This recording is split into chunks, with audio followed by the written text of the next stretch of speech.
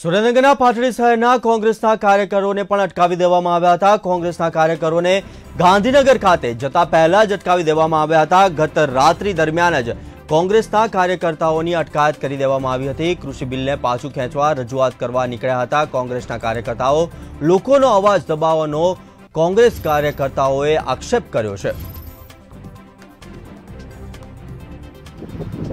ખેડૂતોના ન્યાય માટે ખેડૂતોના હક માટે ગુજરાત પ્રદેશ કોંગ્રેસ સમિતિ દ્વારા જે ન્યાય યાત્રાનું આયોજન કરવામાં આવેલું હતું, એમાં જવા માટે આજ સવારે હું અને મારા સાથી મિત્ર નાગજીભાઈ ઠાકોર, તાલુકા કોંગ્રેસ સમિતિ પ્રમુખ લાલભાઈ પટેલ, અમે લોકો ન્યાયયાત્રામાં જવા માટે નીકળેલા, પણ કાલ રાતથી જ પોલીસ દ્વારા અમને ઘેર નજરકેદ કરવામાં આવ્યા અને જ્યારે આજે અમે નીકળ્યા, ત્યારે અમને રિટર્ન કરીને પાટલી પોલીસ સ્ટેશન ખાતે લાવવામાં આવ્યા.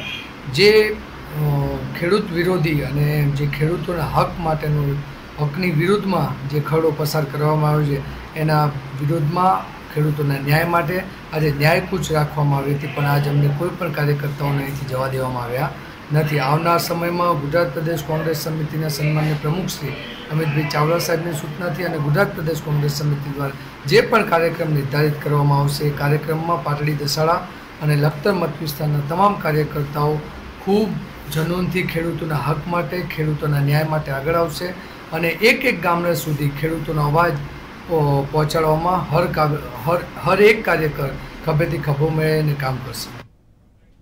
હાલ સમય થયો છે કે નાનકડા વિરામનો લઈશું એક નાનકડો વિરામ.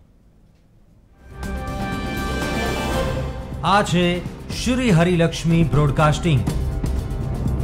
આપ જોઈ રહ્યા છો નેટવર્ક ન્યૂઝ ગુજરાત. ગુજરાત